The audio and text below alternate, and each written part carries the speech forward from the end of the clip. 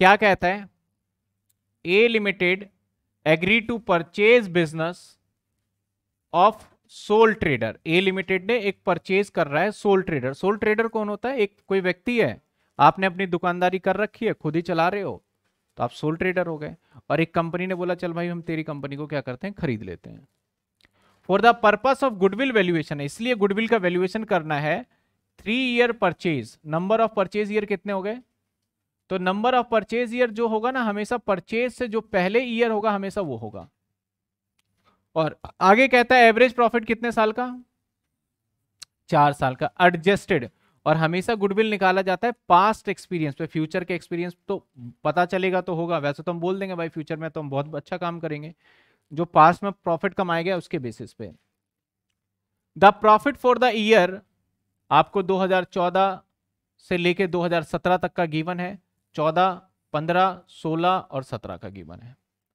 Following additional information available 2016 के अंदर एक मेजर रिपेयर करवाया था expenditure of plant and machinery 6000 हज़ार वॉज़ चार्ज रेवेन्यू यानी आपने इस प्लांट एंड मशीनरी में डालना था और आपने इसको किसमें डाल लिया सर? इसको डाल लिया प्रॉफिट एंड लॉस में।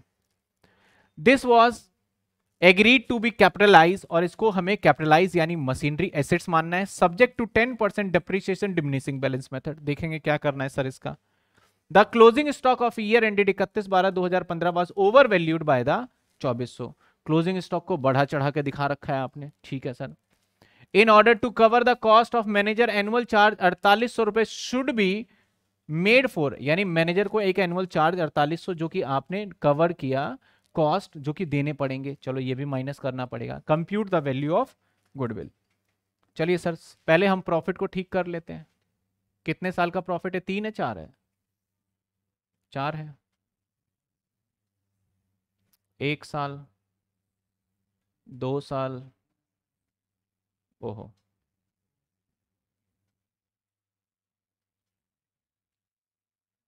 तीन साल और चार साल। ऊपर लिख सकते हो प्रॉफिट एडजस्टमेंट टेबल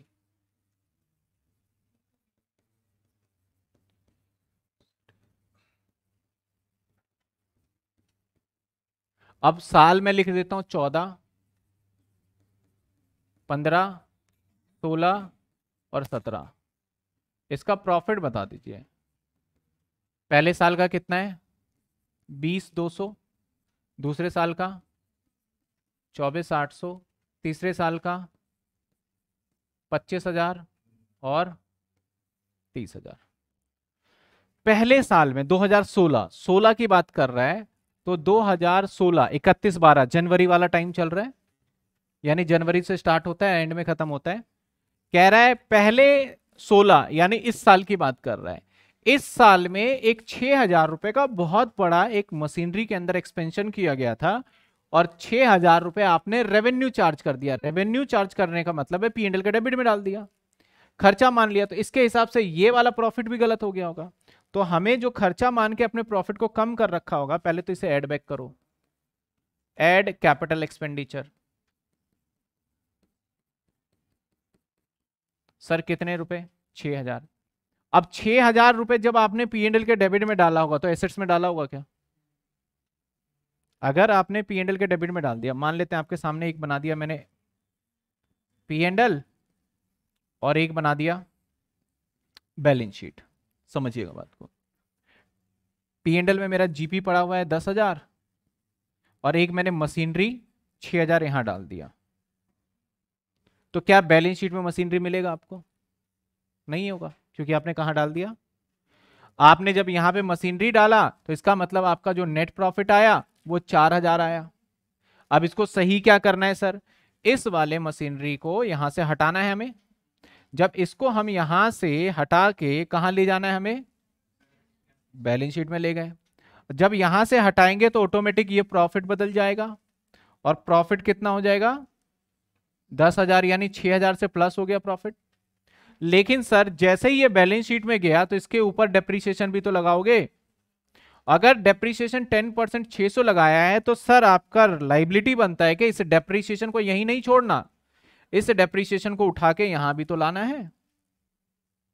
तो यानी डेप्रीशिएशन अब मैं माइनस करूँगा तो मेरा जो रिज़ल्ट बन के आएगा, वो आएगा हमारा 9400 यानी इस वाले प्रॉफिट में इसके एडजस्टमेंट की वजह से दो काम करने पड़ेंगे डेप्रीशिएशन घटाना पड़ेगा और मशीनरी ऐड करना पड़ेगा। तो मैं यहाँ पे क्या करूँगा लेस कर दूँगा सर क्या? डेप्रीशिएशन और क्योंकि डेप्रीशिएशन डब्ल्यू है तो यहाँ पे डेप्रीशिएशन साल के एंड में छह सौ रुपए ऐड करेंगे। और अगर आपने इस साल में मशीनरी नहीं दिखाया होगा तो आने वाले साल में भी आपको मशीनरी दिखेगा या नहीं दिखेगा? नहीं दिखेगा एसेट्स में। मान लेते हैं नेक्स्ट ईयर में गए तो वहाँ मशीनरी होगा ही नहीं। जब नेक्स्ट ईयर में मशीनरी नहीं होगा तो नेक्स्ट ईयर में भी डेप चार्ज नहीं कर रहे होगे। तो इसका मतलब इसके साथ कनेक्टेड ये प्रॉफिट भी गलत हो गया।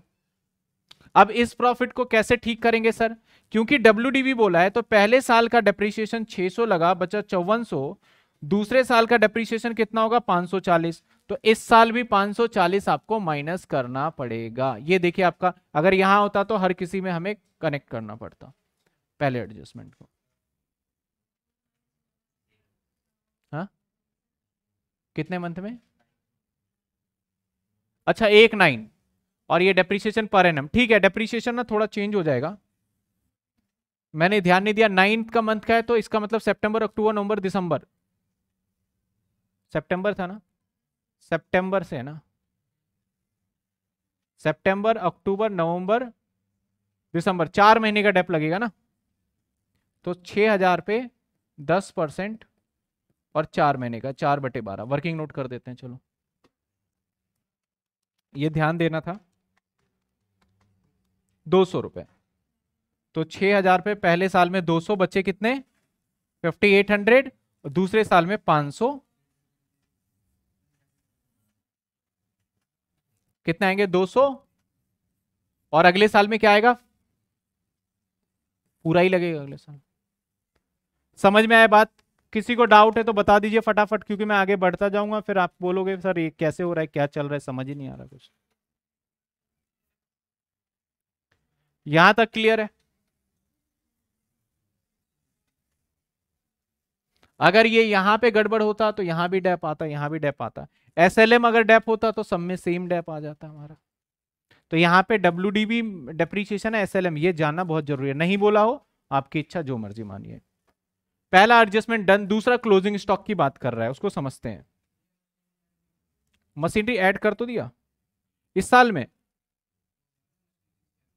ऐड हो तो क्या? क्या कह रहे हो? ठीक है ना?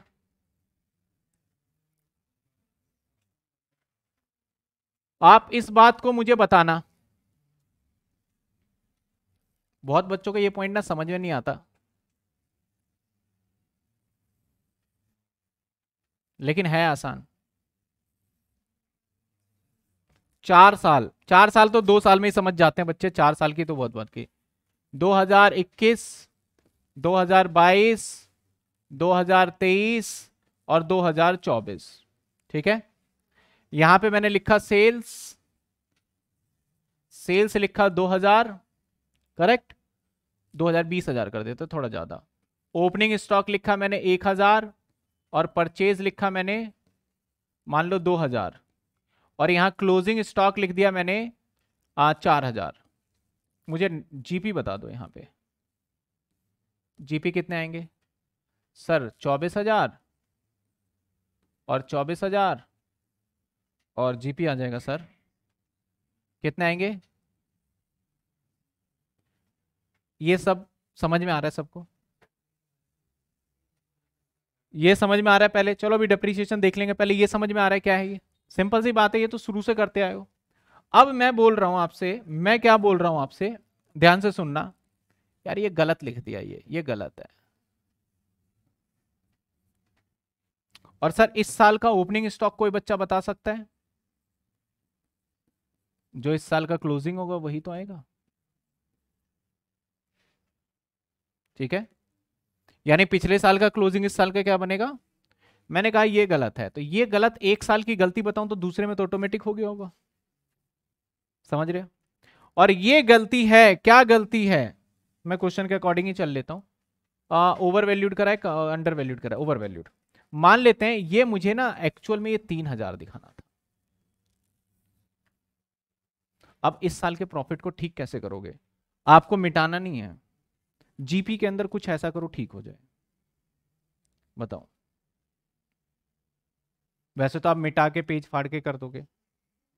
लेकिन अब आपको इसी में, जीपी में ही कुछ ऐसा करो, ठीक हो जाए।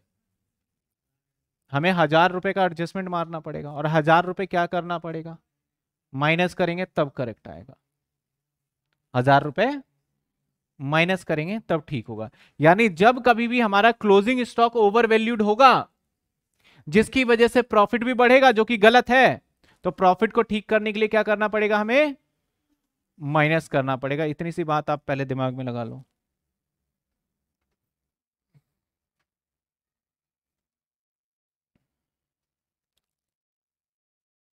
बताओ पहले। समझ में आ रहा है? सर, इस साल का भी आपको सेल्स दे दें। इस साल का सेल बीस हज़ार, इस साल का परचेज पाँच हज़ार, और इस साल का क्लोजिंग स्टॉक तीन हज़ार। तो यहाँ कितना आएगा? तेईस, और यहाँ कितना आएगा? तेईस, नौ हज़ार माइनस कर दोगे तो चौदह हज़ार क्या ये प्रॉफिट ठीक है या ये भी गलत हो गया इसकी वजह से? क्या ओपनिंग स्टॉक चार हज़ार ठीक लिखा है? कितना आना चाहिए था? तीन आना चाहिए। तो इसकी वजह से इसका प्रॉफिट भी गलत हो गया, यानी नेक्स्ट ईयर भी कहीं ना कहीं कनेक्टेड हो गया। तो अब इसको ठीक कैसे किया जाए? ऐड करके। यानी सर, अगर ओपनिंग स्टॉक ओवर वैल्यूड होता है तो हमें ऐड करके प्रॉफिट को ठीक करना चाहिए। आप बता रहे हो, ये सामने रियल एग्ज़ाम बिल्कुल लाइव एग्ज़ाम्पल ऐसा तो नहीं है कि हम इसमें कोई रट्टा मार रहे हैं। और अगर क्लोजिंग स्टॉक ज़्यादा है सिंपल सी बात समझना opening stock is a expense के तरीके से ट्रीट होता है, क्योंकि ये डेबिट में आता है। और क्लोजिंग स्टॉक किसके तरह ट्रीट होता है? इनकम के तरीके से। अगर क्लोजिंग स्टॉक गलती से बढ़ा रखा है तो भैया प्रॉफिट गलत आ गया प्रॉफिट को घटाओ। अगर ओपनिंग स्टॉक बढ़ा रखा है तो भैया खर्चा तुमने गलती से ज़्यादा कर दिया, जिससे प्रॉफिट कम आएगा प्रॉफिट को बढ़ा दो फिर से। समझ में आए अगर मैं बोलता कि क्लोजिंग स्टॉक मैंने कम दिखाया है तो प्रॉफिट भी कम आया होगा।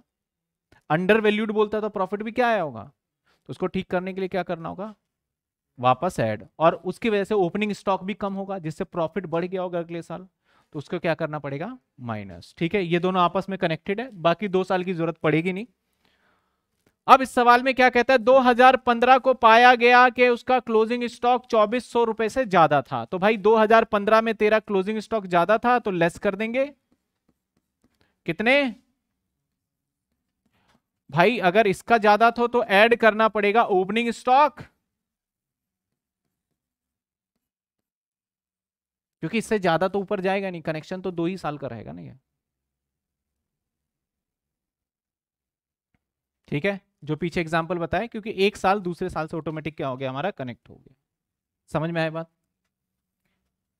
कहता है मैनेजमेंट को हमें भैया चार्ज करना है एनुअल अड़तालीस सौ रुपए। ठीक है सर लेस कर दो। मैनेजमेंट एक्सपेंस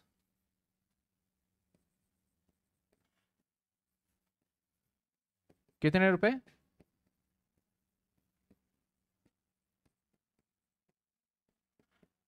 अब बस टोटलिंग का प्रोसेस रह गया, जो फटाफट कर दो आप। इसमें तो कुछ है ही नहीं। बीस कितने हो जाएगा? पंद्रह हज़ार? ये बताइए।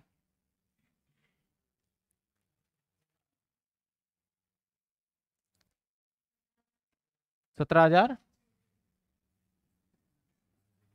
ये बताइए।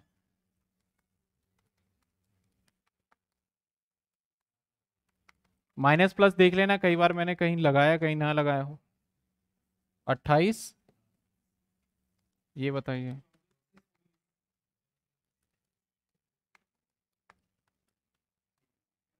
चौबीस? अब एवरेज प्रॉफिट कैसे निकाले? चारों को ऐड करके चार से डिवाइड मैं यही निकाल देता हूँ average profit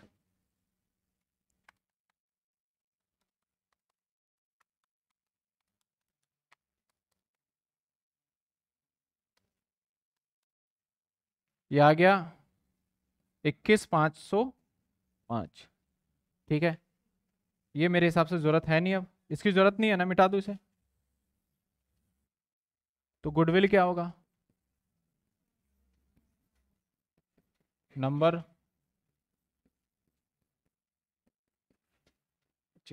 average properties, number of purchase year कितने थे? तो ये आ गया।